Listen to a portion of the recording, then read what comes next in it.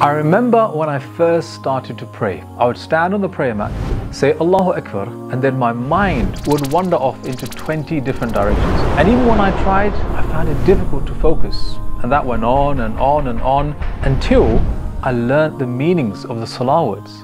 Finally, I was able to bat away the distracting thoughts for beautiful ones. After that, I recall finding a book explaining how there's a heavenly order in the actions of salah and how each posture is symbolic. Since then, I've been teaching this as a course to thousands of students, and they've told me it has transformed their salah.